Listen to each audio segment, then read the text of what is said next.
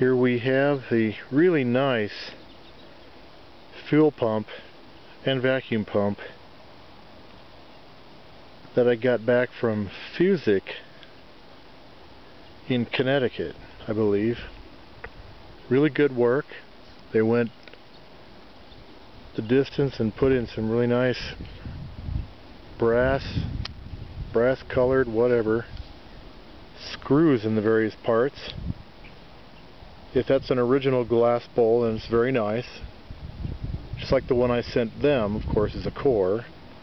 Just look how pretty that is, though. Isn't that beautiful? AC. Comes with everything tied onto it if it's loose. Little air dome.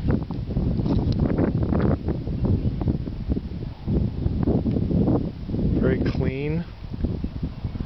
The uh, arm works very tight, no play, and all the fittings come with it. I like that little black dome on top instead of the original colored whatever it was. Mine was kind of gray, pewter, a little bit different from everything else and didn't like it.